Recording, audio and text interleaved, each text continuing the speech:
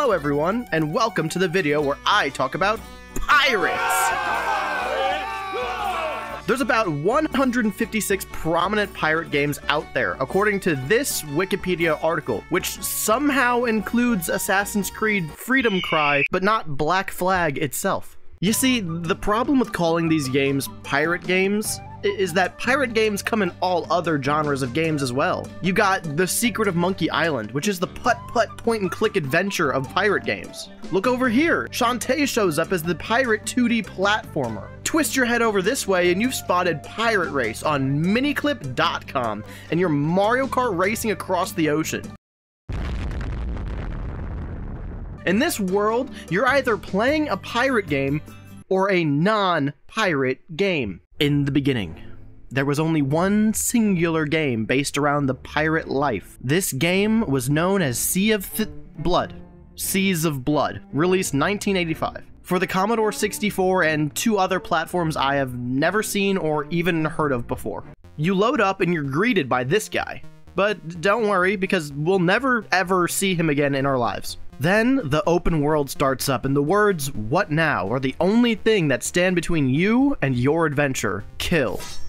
Uh, uh kill crew. Oh, okay. Uh, kill ocean?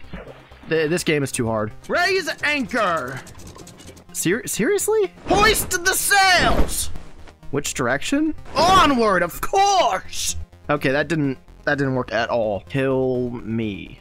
Okay, okay. Kill captain attack myself?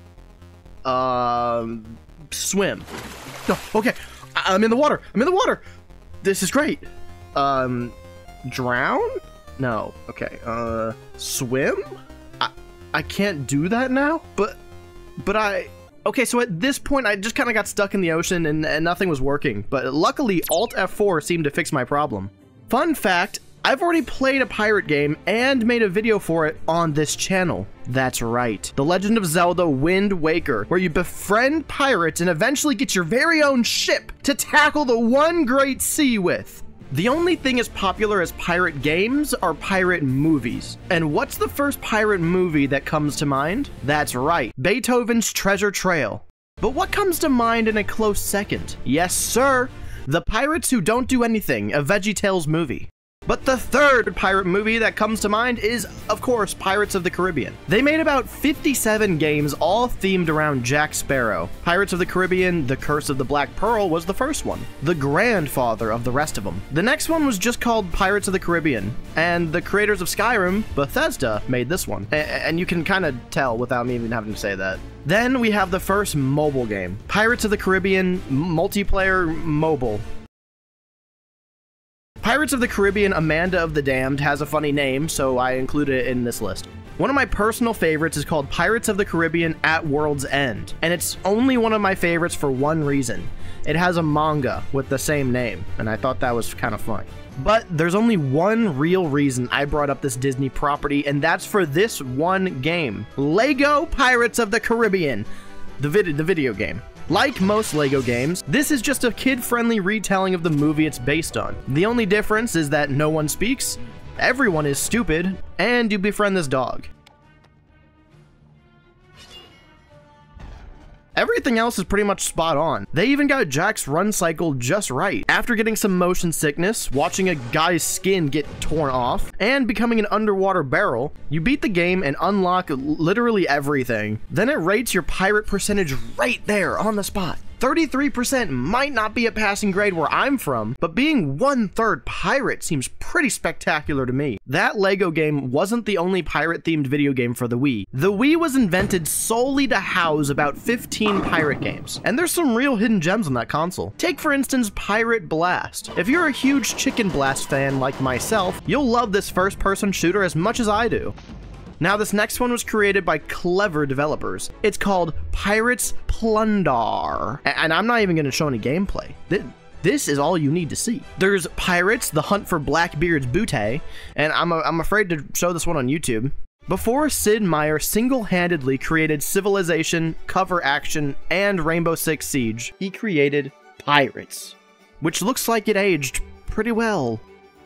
Obviously, I chose the hardest difficulty and the hardest year to start in. Also, I accidentally picked the hardest starting region, Spain. But to be fair, I wasn't about to pick the English or the French. And for whatever reason, when I was trying to go east the entire time, the wind constantly went west. And the only reason I was going east is because my first quest was to the east. And that is not a joke. I guess by selecting a hard mode, it meant that the wind would constantly be against you the whole time. Also, I lost my entire crew to this one tiny ship I couldn't damage because again, the wind was against me the entire fight. Look at that. Look, the wind is constantly not on my side. Anyways, when you die, you just get a new ship and you're instantly elected captain. So yeah, 7 out of 10, game too much water. Now, let's move on to a modern pirate game. How have these games changed over the centuries? We'll find out by taking a look at Skull and Bones, an Ubisoft original. A Ubisoft. An Ubisoft. A Ubisoft? And a and this game is the newest pirate game. And I will say, while this main title screen looks like a lazy animated wallpaper you'd find on Wallpaper Engine, the game is like half good. The combat is fun and it's fast paced, and I think they did a really good job combining steering and shooting into fluid controls. The best part is that you'll never feel overwhelmed by the ship fights. I mean, look at that, you can clearly tell what is happening on the screen. It's awesome. Where am I? All I know is explosions and all on fire and all and everything. The moments when you're off the ship is the weakest part of the game by far. It's clunky to move around, and you really only get on land to accept a quest or play this weird Lego Star Wars type minigame where you where you get a prize, I guess. But Nothing comes close to the annoyance I feel every time you're walking around and the footsteps audio only plays through your left ear for some god-forsaken reason.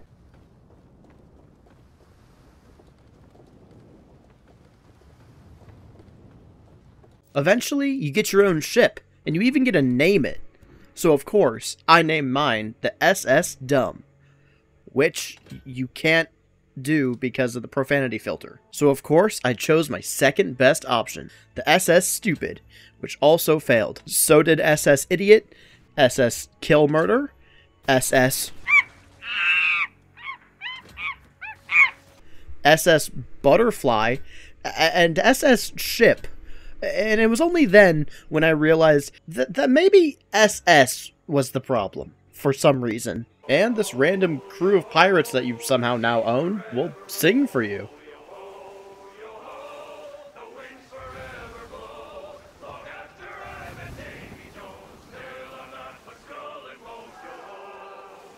Anyways, the boat combat is fun, throwing spears at fish is weird and makes sense, and the turn radius of the ship is god-awful, like every good pirate game should be. Just make sure you bind a macro to F, that way you pick up everything and don't have to spend a year making a 19 point turn to go back and pick the torn sail bits up. Okay, so obviously the modern pirate games aren't getting any better. So let's take a big step back and answer a lifelong questions that humans have never figured out.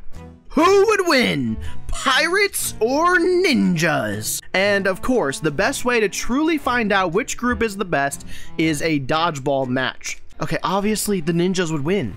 They're they're trained fighters. Uh, there is I don't think there's any competition here at all. When I think about pirates, I think about entertainment and education designed for children. And with that in mind, I feel like we can't go on with this without talking about Moop and Dreadly in The Treasure on Bing Bong Island. You play as Talkative Child and Mute Pink Monster, and go on a Dora the Explorer style point and click adventure to find treasure.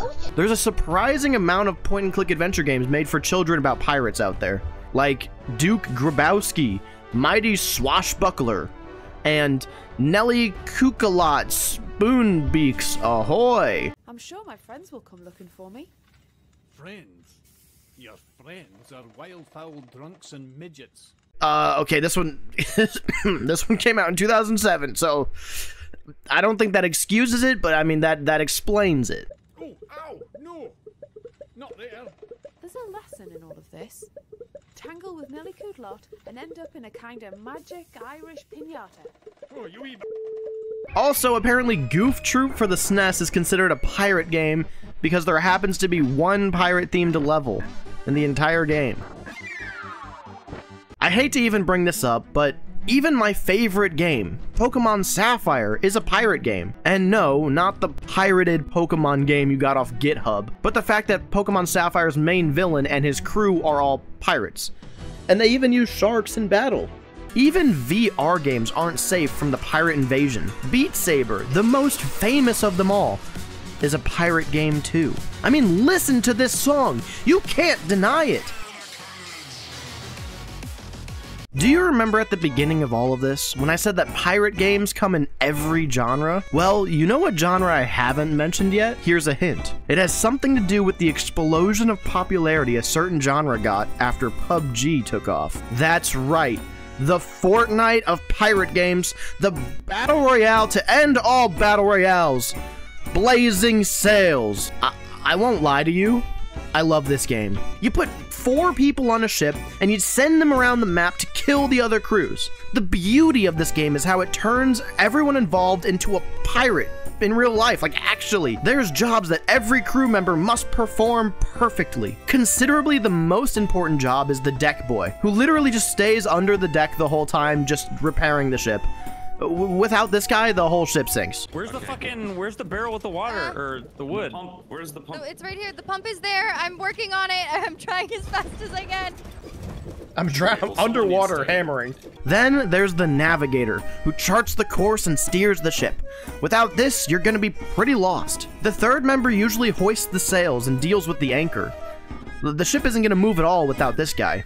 And the last person it doesn't do anything. Like, literally nothing at all. There aren't enough jobs to be done. And that's the role I played. The game is cool because you have to quickly explore the land and find materials and weapons to survive long enough to win. This guy spent money on the game. Bully him. yeah, kill him. Yeah, imagine spending money on this game. kill this Cringe. So. All of us just oh wait, there is hole. There is a hole on our ship, guys. Yeah. Well, it's in the storm. Fine.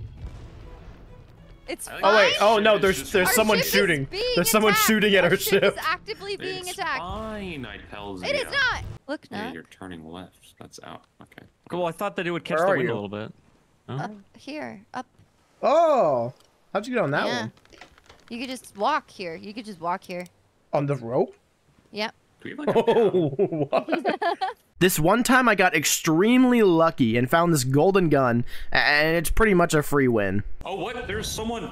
Is no one else down there with me? I died. I was killing the person on my ship. No. Sorry, I got double kill. It's fine. I got double kill. Triple Say kill. it. Triple What? kill. I'm I'm carrying. Jesus. Christ, He's still stabbing, bro. Game's over. Chill, brother. Let's go.